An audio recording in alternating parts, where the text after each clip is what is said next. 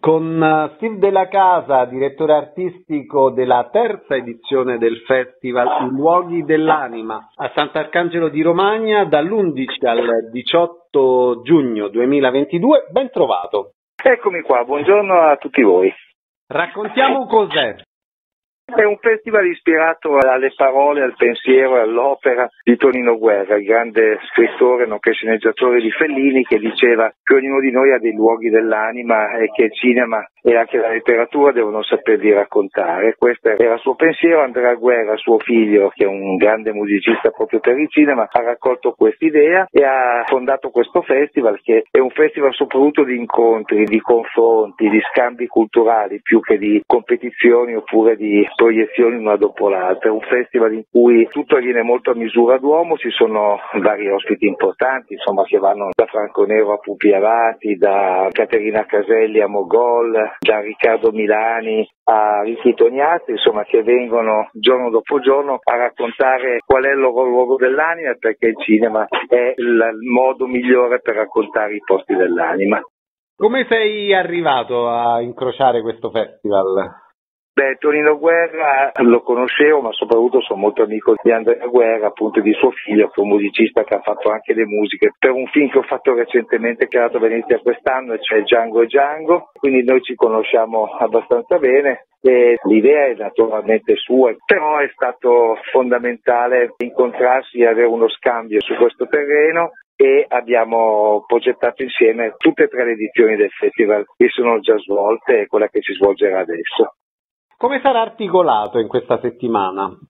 Ci sono proiezioni e incontri sia a Rimini sia a Sant'Arcangelo di Romagna sia anche a Pennabilli, tre paesi, insomma, tre città che a chi ama il cinema dicono qualcosa, insomma, per Fellini, per Tonino Guerra, per tanti altri motivi, per il teatro e così via. Ci sono degli incontri tipo Nige tutte le sere, come dicevo ci sono delle proiezioni anche di cortometraggi, di documentari, ma soprattutto c'è grande spazio e grande attenzione per gli incontri, le masterclass, le conferenze e gli incontri.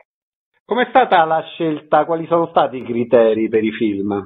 Abbiamo scelto dei film che rappresentino proprio quello che dicevamo, cioè quanto il cinema possa essere veramente lui stesso un luogo dell'anima, cioè vedere certi film può in qualche modo essere un terreno quasi di crescita collettiva, un'occasione di scambio. Li abbiamo scelti con questo criterio, pensavamo a dei film che avessero questa componente al loro interno in maniera molto forte. Faccio un esempio, non so, Calcinculo piuttosto che altri film recenti usciti e in questo modo cerchiamo anche di dare una mano a che il cinema ritrovi l'importanza che ha avuto che la pandemia e tutto quello che è successo in questi ultimi due anni, come sappiamo, ha un po' messo in discussione. Nel complesso quante sono le opere e saranno accompagnate tutte da autori e autrici? Sì, sì, prevederà l'incontro con qualcuno o lo regista, lo sceneggiatore, eh, poi ci saranno appunto documentari, ce ne sono otto lungometraggi, otto documentari, un concorso di cortometraggi e alcune proiezioni speciali che accompagnano alcune masterclass. Proietteremo La casa delle finestre che ridono in maniera da fare anche un omaggio e Alino Capolicchio che sono mancati da poco, che sono due attori con lui ha lavorato molto e poi è un film girato tutto dalle parti insomma della Romagna, quindi la fa vedere anche da un punto di vista inedito e insolito. Come sarà nell'arco della giornata il festival? Come si svilupperà?